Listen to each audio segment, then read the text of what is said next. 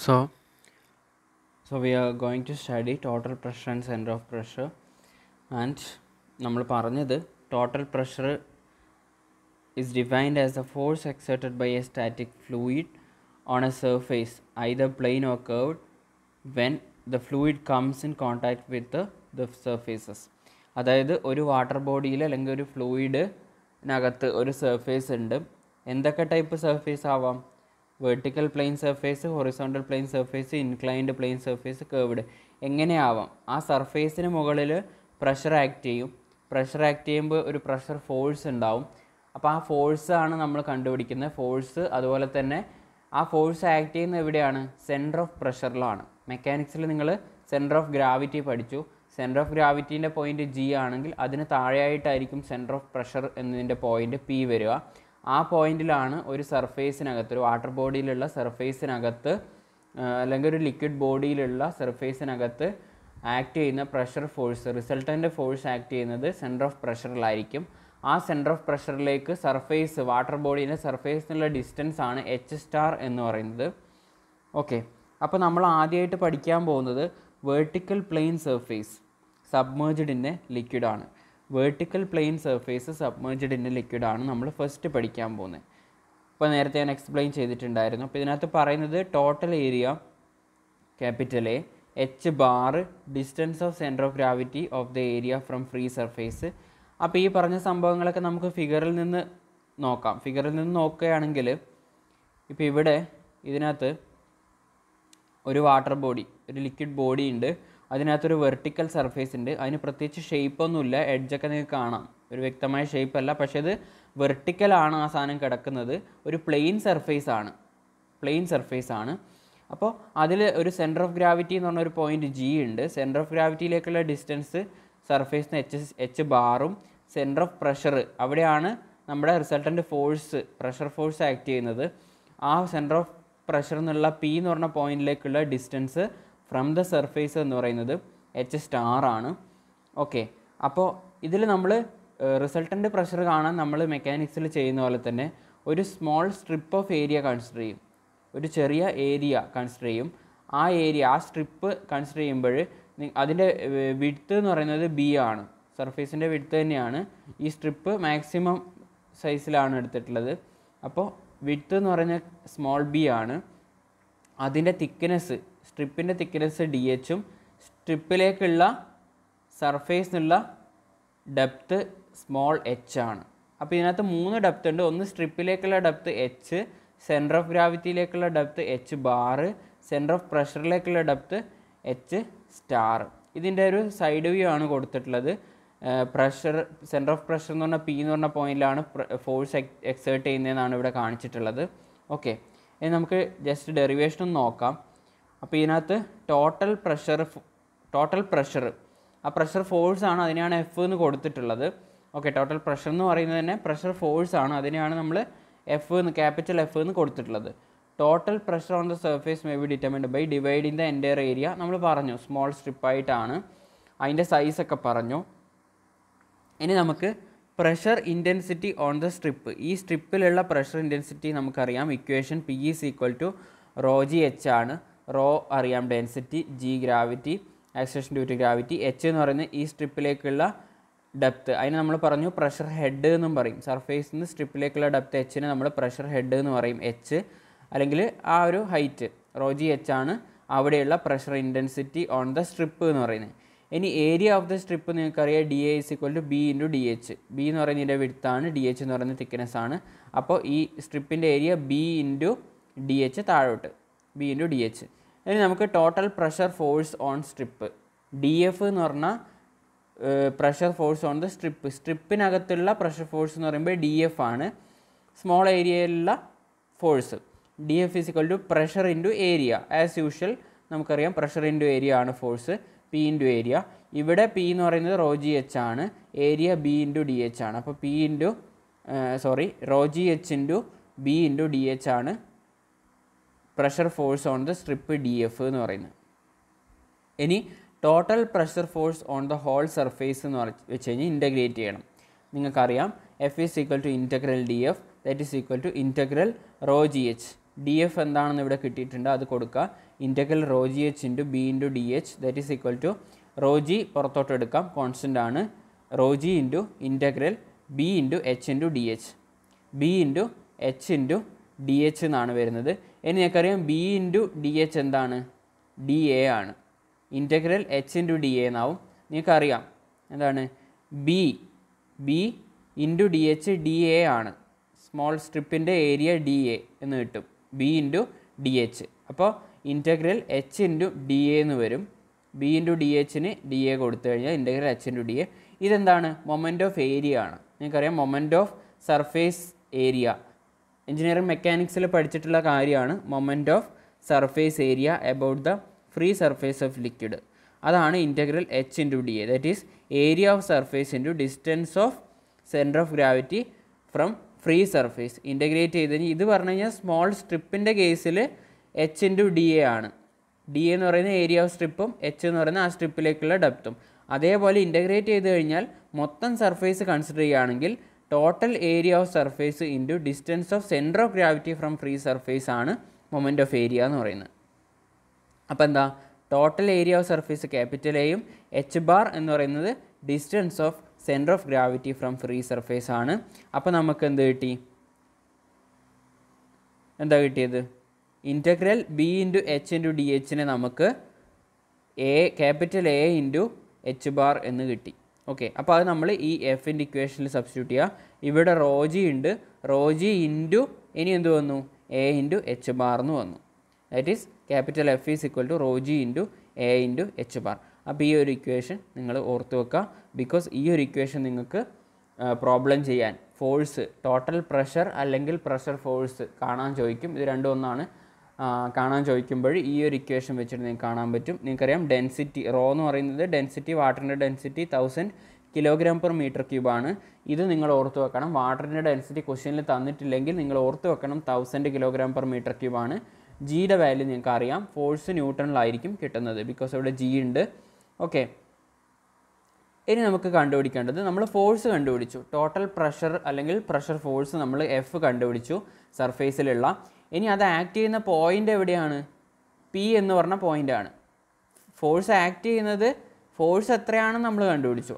അത് ആക്ട് ചെയ്യുന്നത് ഈ പി എന്ന് പറയുന്ന പോയിന്റിലാണ് ഇനി ആ പി എന്ന് പറഞ്ഞ പോയിന്റ് നമുക്ക് കണ്ടുപിടിക്കണം.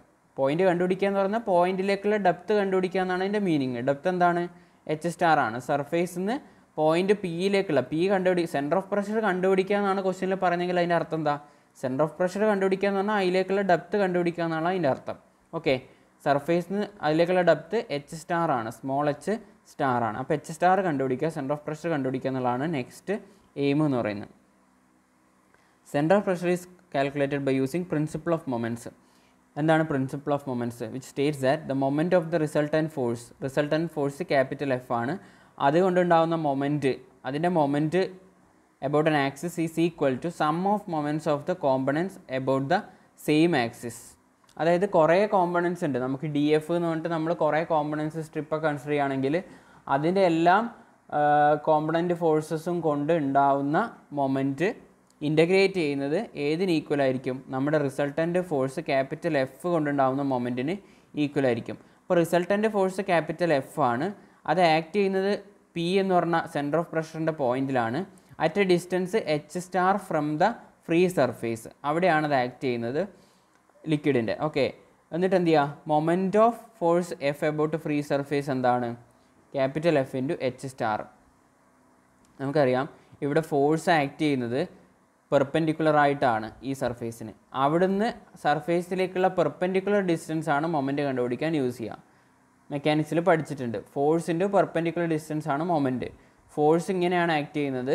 അതിന് പെർപ്പൻഡിക്കുലർ ആയിട്ടുള്ള ഡിസ്റ്റൻസ് എച്ച് സ്റ്റാർ ആണ് ഇവിടെ വരുന്നത്. അതുകൊണ്ട് moment due to F force F എന്ന് പറയുന്നത് എഫ് ഇന്റു എച്ച് സ്റ്റാർ ആണ് വരുന്നത്. പെർപെൻഡിക്കുലർ ഡിസ്റ്റൻസ് എച്ച് സ്റ്റാർ ആണ് വരുന്നത്. എഫ് ഇന്റു എച്ച് സ്റ്റാർ ഇനി moment of force D F acting on a strip about free surface of liquid D F കൊണ്ടുണ്ടാവുന്ന moment ഒരു strip സ്ട്രിപ്പിൻ strip consider ചെയ്യുക. അതിനകത്ത് D F കൊണ്ടുണ്ടാവുന്ന moment D F into H because ഇവിടെ എങ്ങനെയാണെന്ത് ഈ സ്ട്രിപ്പിനകത്ത് act ചെയ്യുന്ന പെർപ്പൻഡിക്കുലറി ആക്ട് ചെയ്യുന്ന ഫോഴ്സ് ഡി എഫ് ആണ്. അതിന് അതിന് അതിനോടുള്ള പെർപ്പൻഡിക്കുലർ ഡിസ്റ്റൻസ് എച്ച് ആണ്. സർഫേസിലേക്ക് എച്ച് ആണ്. മറ്റേ കേസിൽ എച്ച് സ്റ്റാർ ആണെങ്കിൽ ഇവിടെ സ്ട്രിപ്പ് കൺസിഡർ ചെയ്യുമ്പോൾ എച്ച് ആണ് വരുന്നത്. അപ്പോൾ ഡി എഫ് ഇന്റു എച്ച് എന്ന് വരും. ഡി എഫ് ഇന്റു എച്ച് എന്ന് വന്നു.